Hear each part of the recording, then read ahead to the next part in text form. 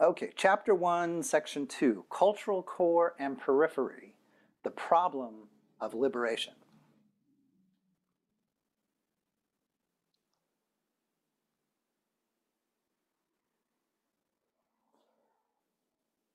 Since the end of the 1960s, as a fruit of the emergence of critical Latin American social science, particularly dependency theory, that's a that's a continuation of developmentalism and uh, uh, development in Latin America, dependency theory, uh, and, and gets at this notion that Latin American countries are dependent on the US empire and on Europe, uh, dependent politically and economically and trying to uh, break that dependence. Uh, and, and of course, the way that especially the American, the North American empire uh, used development to, to cause political economic dependency in Latin American countries on purpose. Uh, as a fruit of the emergence of critical Latin American social science, as well as the uh, as the Emmanuel Levinas's lecture "Totality and Infinity," and perhaps initially and principally as a result of the popular and student movements of 1968, worldwide, but fundamentally in Argentina and Latin America. A historical rupture was produced in the field of philosophy, and consequently in philosophy of culture uh, that he was primarily interested in. So 68 was a worldwide youth revolution. We experienced it in the United States, uh, but, um, but Argentina, uh, in Latin America and Brazil, it was really heavy. Uh, it was uh, quite uh, a stir. Uh, this Levinas lecture, Totality and, and Infinity, he's going to ruminate throughout uh, he's going to ruminate upon throughout the rest of the, the entire book here, to do the, the, the anti-Cartesian meditations. Um,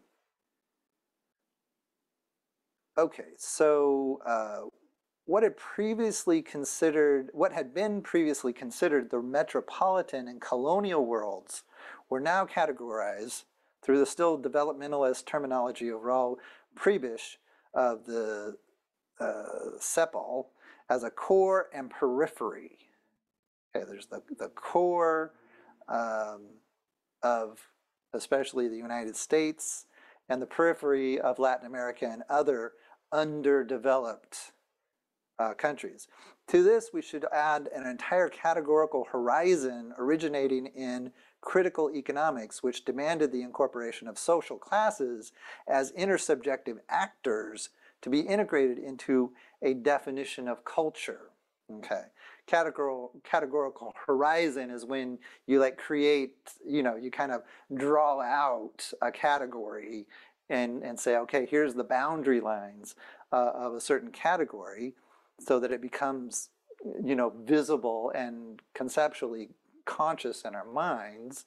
Uh, critical economics, Marxist economics, which uh, wanted to talk about social class and the class antagonisms and that these classes are actually agents, actors in history. They're not entirely dependent on the saviors from the core. Um, this was not merely a terminological question, but a conceptual one, which allowed for the rupturing of the substantialist conception of culture and for the discovery of fractures internal to each culture and between them, not only as an intercultural dialogue or clash, as he had been using the terminology, but rather more strictly as domination and exploitation of one culture over others. Domination, exploitation. it was necessary to take into account on all levels the asymmetry of the actors involved. Uh, symmetry is when things are balanced. So, symmetry, especially in power relationships, is when you have equal power. So, like when you have a war, a real war, there's two armies and you don't know who's going to win. That's what makes it a genuine uh, war.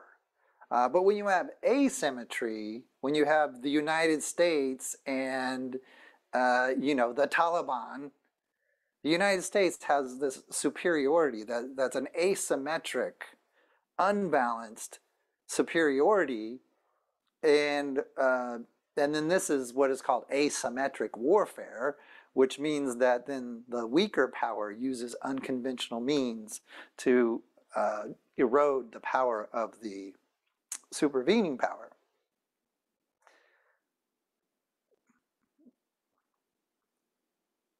Um, so it was necessary to take into account on all levels the asymmetry, asymmetry of the actors involved. That there was the powerful and the relatively powerless. But that doesn't make them totally without agency of their own and the ability to act maybe unconventionally. The culturalist stage was over. Thus, in 1983, in a chapter entitled Beyond Culturalism, I wrote, From the structuralist view of culturalism, it was impossible to understand the changing situation of hegemony within the well-defined historical blocks and in respect to the ideological foundations of diverse classes and factions. Moreover, culturalism lacked the categories of political society in the last analysis, the state, and civil society. Okay. So political society, civil society. Uh, Latin American philosophy, like the philosophy of liberation, discovered its cultural conditioning since it understood itself from the perspective of a determinate culture, Europe, but moreover, it was articulated explicitly or implicitly, implicitly from the perspective of the interest of determinate classes, groups, genders, races, etc. Location had been discovered and was the first philosophical theme to be addressed. Intercultural dialogue had lost its simplicity and came to be understood as overdetermined by the entirety of, of the colonial era. Uh, overdetermination, uh, over overdetermination is when you see a phenomenon and you might explain it in more than one way, uh, explain its causes in more than one way. And you know, there could be five different causes and they could all be pushing things in the same direction. That's called overdetermination. So it isn't just one thing that causes it, but it's a whole chorus of causes uh, working in concert. Uh, in fact, in 1974, we initiated an intercontinental South-South dialogue, not North-South, but South-South dialogue between thinkers from Africa, Asia, and Latin America whose first meeting was held in Dar es Salaam, uh, Tanzania in 1976. Those encounters gave us a new and immediate pro, uh, panorama of the great cultures of humanity. Okay, so this is Latin American, African, etc. Uh, cross-cultural dialogue. Not even worrying about the United States and Europe. This new vision of, cultural, uh, of culture emerged at the last of these meetings, which took place at the University of El Salvador in Buenos Aires, at which point the philosophy of liberation was already fully in development. Okay, so here philosophy of liberation is fully formed. It represented a frontal attack on the position of Domingo F. Sarmiento, an eminent Argentinian educator and author of uh, Facundo, Civilization o Barbarie, um, Civilization or Barbarism. From him, civilization meant, for him, civilization meant North American culture, and barbarism was represented by the uh, federal caudillos that struggled for regional autonomy against the port of Buenos Aires, the transmission belt of English domination. My critique was the beginning of a demythologization of the national heroes who had conceived the neo-colonial model in Argentina, which had already begun to run out of steam. An, an imperial culture, that of the core, which originated with the invasion of America in 1492, confronted the peripheral cultures in Latin America, Africa, Asia, and Eastern Europe. The result was not a symmetrical dialogue, but rather one of domination, of exploitation, of annihilation. Right? So when you have this asymmetry of power and you have cross-cultural dialogue, it's not on the same basis of power. And so North America culture dominates, exploits, and annihilates Latin American culture. Moreover, the elites of these peripheral cultures were educated by the imperialists. And therefore, as Jean-Paul Sartre wrote in the preface to Frantz Fanon's The Wretched of the Earth, echoed what they had learned in Paris or London. Enlightened neo-colonial elites, these are uh, neo-colonial elites born in Latin America or Africa or Indonesia, etc., were so loyal to the empires that they distanced themselves from their own people and used them like hostages for their dependent politics. Therefore, there were asymmetries of domination on the world map. A, a Western metropolitan and Eurocentric culture, the civilization of Ricoeur, that dominated and sought to annihilate all peripheral cultures. Okay, so that's the main Eurocentric Anglo-American uh, culture. On the other end, there's post-colonial cultures, Latin America from, from beginning of the 19th century and Asia and Africa following the Second World War, which were themselves split between one, groups associated with the current empires, enlightened elites who whose authority required them to turn their backs on their ancestral uh, regional culture.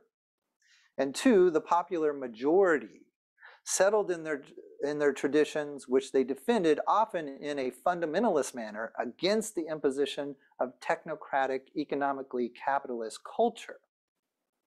Okay, so we have the dominant core culture, uh, Euro culture, the post-colonial cultures coming out of colonialism in Latin America, Africa, Asia.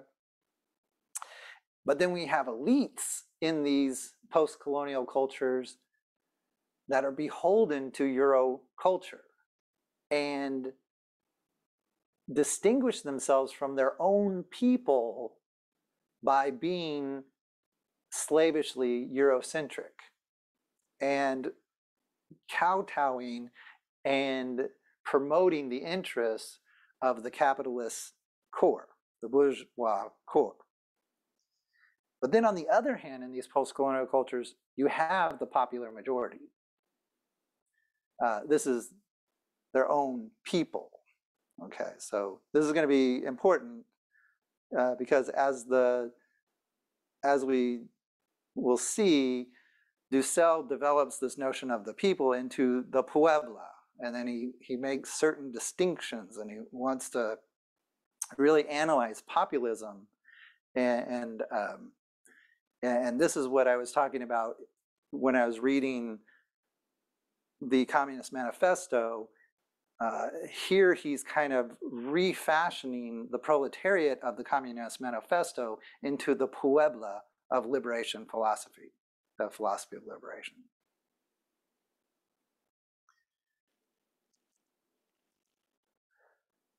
And so this then is the most important cultural unit for Dussel is this number two here, the popular majority. Philosophy of liberation as a critical cultural philosophy needed to generate a new elite whose enlightenment would be integrated with the interest of the social bloc of the oppressed uh, Gramsci's Popolo. Uh, Gramsci was a, uh, an Italian Marxist at the beginning of the 20th century. For that reason, we spoke of the liberation of popular culture. Okay, liberation of popular culture uh, that kind of has a postmodernist feel to it because when we talk about pop culture, it's like pop music, like Like even K-pop is referring to popular culture. Uh, pop music is popular cultural music. Movies and television and magazines, all this kind of ephemeral, uh, nowadays uh, social media, Instagram, etc. This is all popular culture, which uh, from this Eurocentric view was seen as less than. But then in the late 1960s, that began to be inverted so that more and more popular culture, from a Eurocentric perspective, popular culture began to be uh, considered as authentic culture. And so this phrasing, liberation of popular culture, has some problems for Dussel, which he will kind of sort out as we go through this. Uh, so we spoke of the liberation of popular culture. There is firstly a patriotic revolution of national liberation. Secondly, a social revolution that liberates the oppressed classes. And thirdly, there is a cultural revolution. The last of these operates on the pedagogical level, the level of youth, the level of culture. Okay, and this 1968 experience certainly influenced that. Yeah. That peripheral culture, oppressed by the imperial culture, should be the point of departure for intercultural, intercultural dialogue.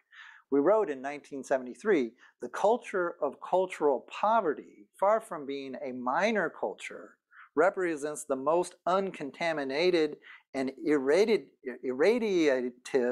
core of the resistance of the oppressed against the oppressor. In order to create something new, one must have a new word that bursts in from the exteriority. This exteriority is the people itself, which, despite being oppressed by the system, is totally foreign to it. Okay, so here, popular culture um, can invent new ideas out of the vast majority of the populace who are not Eurocentric intellectuals, but just like good old fashioned entertainment and whatnot. But these can create new categories which, which, uh, with which Latin Amer American culture can fight against cultural repression from the core. Okay, the project of cultural liberation arises from popular culture, although thought through the philosophy of liberation in the Latin American context. We had overcome culturalist developmentalism that believed that a traditional culture would be able to transition into a secular pluralist culture. However, it was still necessary to radicalize our misguided analysis of the popular sector. Lo popular, the best, right? Pop and cool, being cool. Since it is the womb of the la- uh, since it is in the womb of the latter, uh, contains the nucleus that would harbor populism and fundamentalism, the worst. Another step would be necessary. Okay, so he's indicating here that this original inspiration of popular culture, rooted in 1968, and uh, there was a movement in, in France, the situationalists, who really seized on uh, popular culture and postmodernist combinations and juxtapositions of of classical with with pulp, uh, you know, mundane, everyday ephemera, in order to actually promote the '68 revolution in Paris and elsewhere. Um, that sort of spread throughout uh, the entire youth movement of the late 1960s. And uh, Dussel is indicating here that, you know, maybe he got sucked into that a little bit too much without making a critical distinction that's very necessary because the popular can become the reactionary in Marx and Engels' terms. You know, there is a certain class of people who are part of the people, the vast majority, who are part of the underclass, however you define that, but who have reactionary tendencies that can be used as tools to go try to unwind the revolution, to go backwards in history. And, and of course, in the United States, in, in um, in 2021, in January of 2021, we saw a group of populist reactionaries storm uh, the United States Capitol and try to undermine the election. Um, you know that that was a turning point in American history. If they had have succeeded, we would be in a very different place today. That that just happened to not quite be as bad as it could have been. Uh, but that's the kind of that's the kind of danger that that that lurks within lo popular, you know, the what is cool and hip and popular at the moment and captures the zeitgeist, the the spirit of the times, uh, it can be manipulated in in strange directions, and in particular from a revolutionary perspective uh, that Dussel has. Lo popular can be used to try to undo the revolution, to undo progressive, uh, socialistic uh, revolution, and, and try to go backwards in time to protect the interests of elites.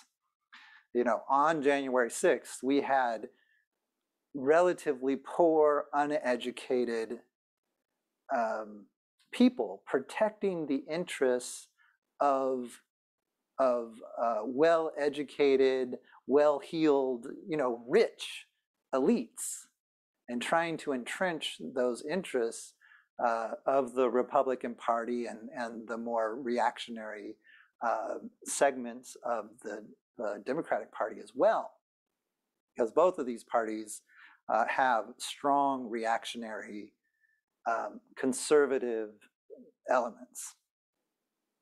Okay,